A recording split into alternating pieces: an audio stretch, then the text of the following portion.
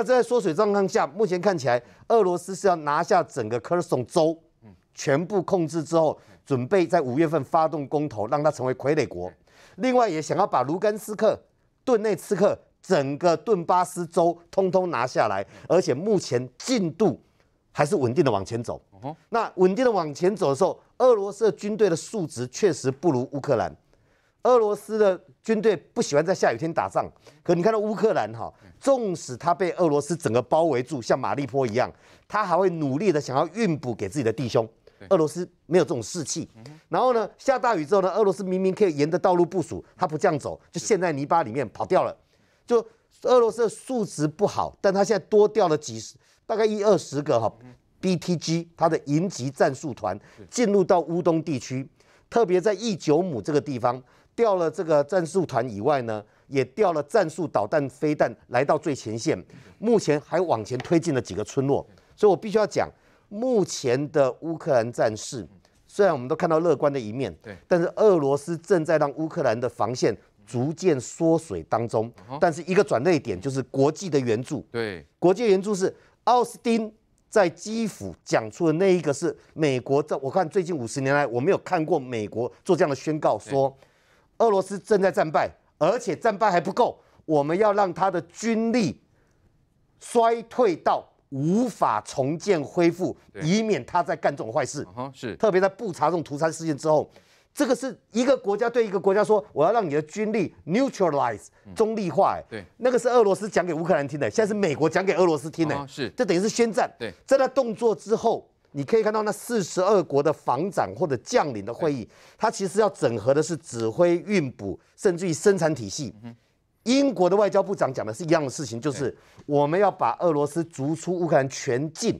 他后面里面有一段，他说我们现在整合飞机、大炮、坦克的生产线，看怎么样调配。然后呢，除了这以外，美国也指派了一个退役中将，叫做 Wolf。Wolf 中将他在伊拉克。他在阿富汗，他在德国都曾经服役过。他是训练，他是装甲兵，他是步兵，他是战术以及国际协调的高手。所以伊拉克那个时候在打伊斯兰国的指统筹指挥官就是沃夫。所以现在沃夫的美国指派一个前中将来统筹所有的这个整合事项。这个几乎已经在建构联军。对，所以当你建构联军，德国、法国、英国。火炮啦，训练。现在一乌克兰好几支部队在乌在英国受训，这是 Boris Johnson 说的。英呃法国、德国不再低调，开始供应坦克、长城火炮。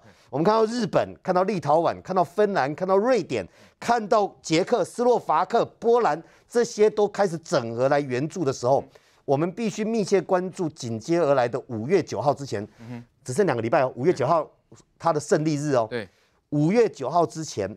西方盟国包含日本这个国家整合的运补、重装备的提供，会不会让我刚才讲目前战事乌克兰战线正在缩水当中产生逆转？那个一旦逆转哈，俄国将。